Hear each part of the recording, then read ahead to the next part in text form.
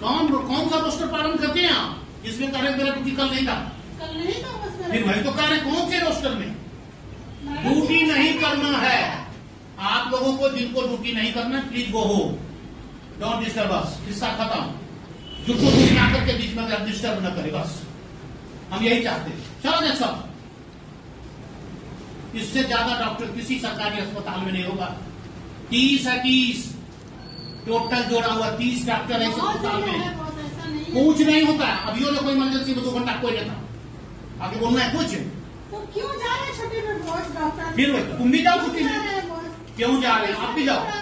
हमको डिस्टर्ब मत करो जाओ। सब खत्म अपना रोस्टर चलेगा। सबका अपना मर्ज़ी चलेगा। काय को मर्ज़ी भैया घर में रहो ना सबसे अच्छा मर्ज़ी तो वो है।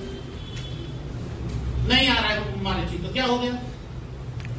यहाँ तो ऐसा है कि कहा कि सीज कर लिए रजिस्टर क्यों? एक तारीख से पंद्रह तारीख तक कोई लेता है पेटर्निटी लीव और साइन कौन कर देता उसके बदले? कौन करता साइन गंदगी है भरी हुई गंदगी जिसको कहते हैं। इसका क्या जवाब है, है कोई जवाब? नमस्कार आप देख रहे हैं न्यूज़ फॉर नेशन और मैं हूँ सांत्वना आपके साथ। सूबे के उप मुख्यमंत्री सह स्वास्थ्य मंत्री तेजस्वी यादव ने जब से पदभार संभाला है, वो तब से एक्शन मोड में लगातार नज़र आ रहे हैं।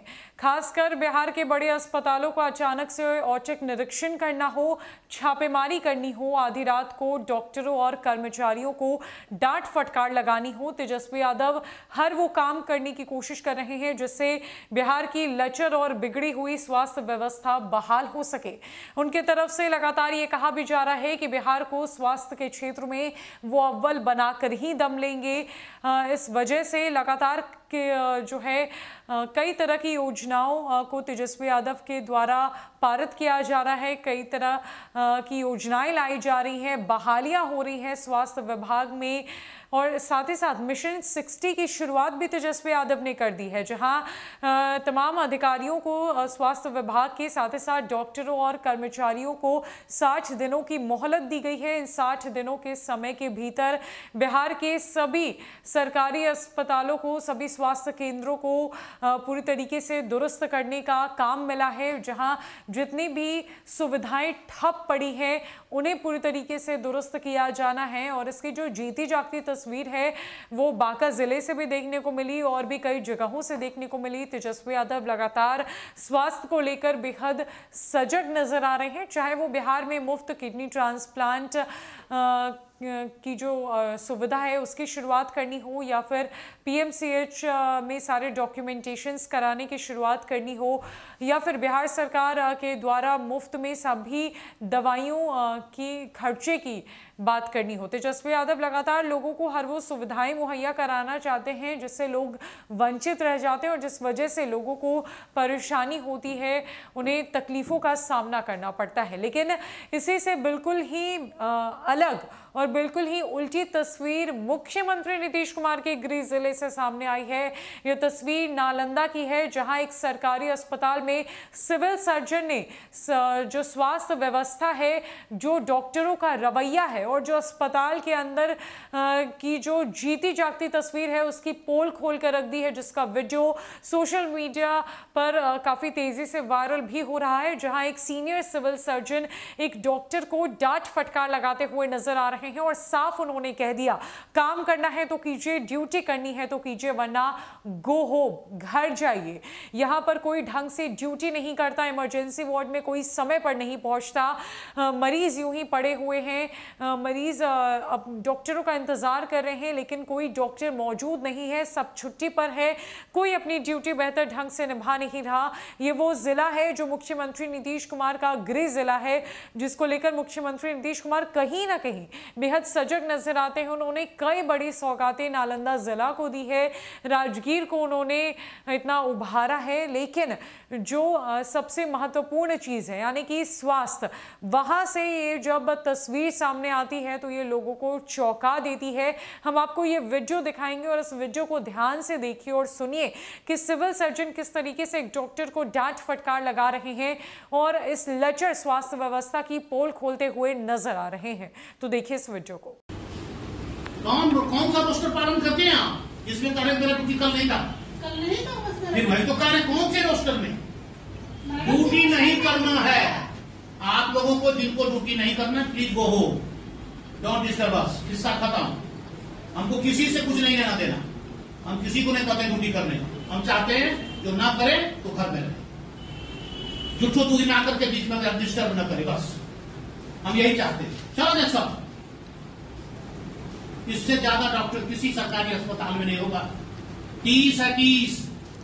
टोटल जोड़ा हुआ तीस डॉक्टर है अस्पताल में। है, है।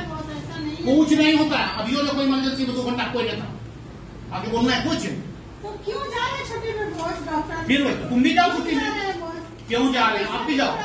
हमको डिस्टर्ब मत करो जाओ। चलो खत्म करो। हमको नहीं सब बात करना है। किसी से नहीं आप बात करना है। अभी भी नहीं है। दिन के ग्यारह बजे नहीं है इमरजेंसी में कोई। पोस्टमार्टम रखा हुआ है सर काफ़ी। हम जाएँगे देखने। हम करेंगे पोस्टमार्टम रोस्टर कौन सा रोस्टर कौन करता है पालन रोस्टर का? आप भी खुशी खुशी घर में रहिए। मस्त रहिए खुश रहिए। कोई दिक्कत नहीं है, कुछ बोलने की ज़रूरत नहीं है। अपना रोस्टर चलेगा। सबका अपना मर्ज़ी चलेगा। काहे का मर्ज़ी भैया, घर में रहो ना सबसे अच्छा मर्ज़ी तो वो है। नहीं आ रहा है हमारे चीज़ तो क्या हो गया? यहाँ तो ऐसा है कि कहा के सीज कर लिए रजिस्टर क्यों? एक तारीख से पंद्रह तारीख तक कोई पेट लेता है पेटर्निटी लीव और साइन कौन कर देता उसके बदले? कौन करता है साइन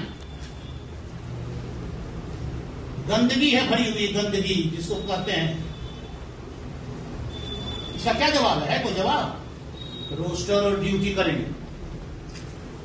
अपने से दिया हुआ एप्लीकेशन हम फॉरवर्ड किए हैं। एक से पंद्रह तारीख तक हम रहेंगे पेटर्निटी लीव में। तो साइन कौन कर दिया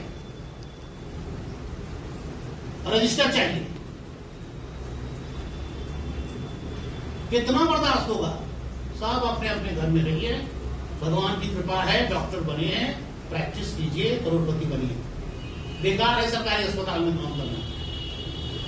खाली हम थमरे लिए रोज। तो जैसा कि आपने इस वीडियो में देखा किस तरीके से डॉक्टरों की पोल खुल रही है, कर्मचारी समय पर मौजूद नहीं है, डॉक्टर ऑन ड्यूटी होते हुए भी अस्पताल में मौजूद नहीं है, सभी अपने घर पर बैठे हुए हैं, जिसके बाद सिविल सर्जन आग बबूला हो गए। उन्होंने स्वास्थ्य व्यवस्था पर सवाल उठा दिया, सरकारी अस्पताल पर सवाल उठा दिया, जबकि वो खुद एक सरकारी सिविल सर्जन है। एक पोल खुल गई है बिहार में स्वास्थ्य व्यवस्था की। अब देखना यह है कि सूबे के उप मुख्यमंत्री स्वास्थ्य मंत्री तेजस्वी यादव इस पूरे मामले पर क्या प्रतिक्रिया लेते हैं? उनके तरफ़ से क्या कुछ एक्शन लिया जाता है? स्वास्थ्य विभाग की तरफ़ से क्या कुछ बातें रखी जाती है? और मुख्यमंत्री नीतीश कुमार का जो ये गृह जिला है जिससे ये जीती जागती तस्वीर सामने आई है मुख्यमंत्री नीतीश कुमार का, इस पर क्या कुछ कहना है? आपको क्या लगता है? हमें कॉमेंट सेक्शन में ज़रूर बताएँ। फ़िलहाल के लिए इस अपडेट में इतना ही। नमस्कार।